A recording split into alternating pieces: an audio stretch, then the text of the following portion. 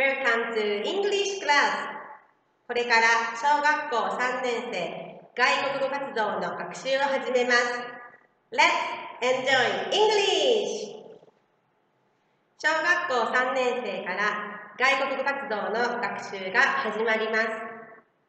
学校で学習できることを楽しみにしていてください。この時間も一緒に楽しく学んでいきましょう。これは学校で ALT の先生、英語を教えてくれる先生と出会った時の場面です。どのようなことを言っているのか考えながら聞いてみてください。あ、ALT の先生だ Hi! How are you? I'm happy. Thank you. How are you? I'm hungry. Thank you. は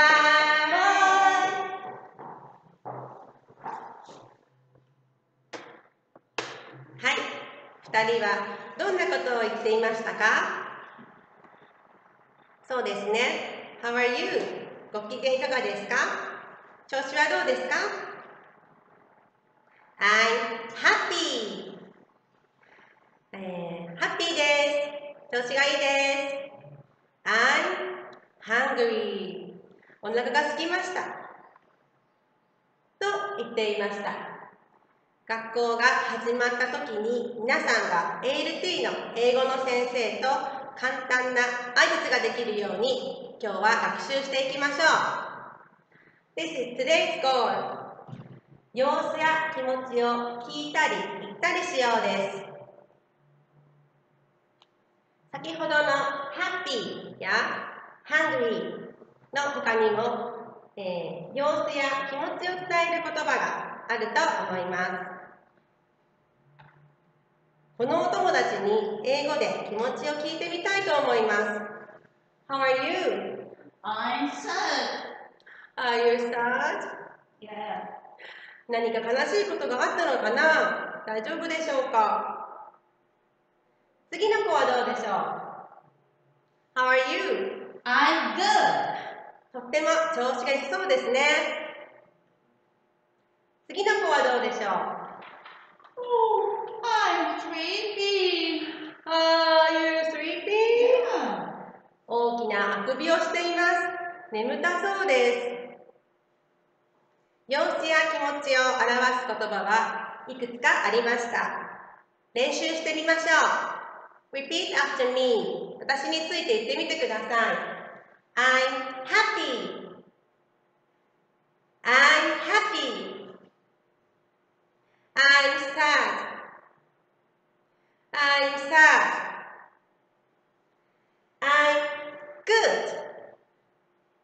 I'm good. I'm hungry.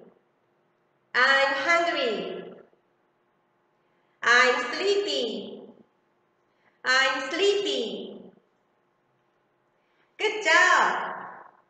それでは相手に自分の気持ちや様子を伝えるためには表情、それからジェスチャーに気をつけるとより良いです。嬉しい時には嬉しい顔、悲しい時には悲しい顔をして伝えてみましょう。また、お腹が減った時には I'm hungry のようにジェスチャーもしてみるといいかもしれません。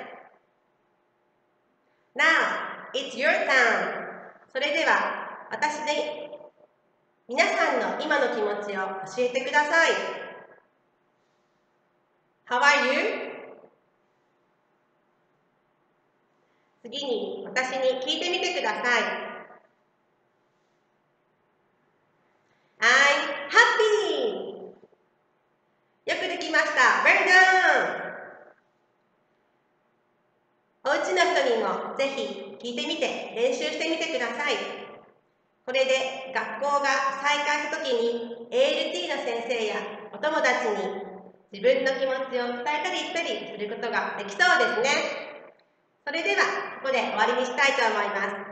That's all for today.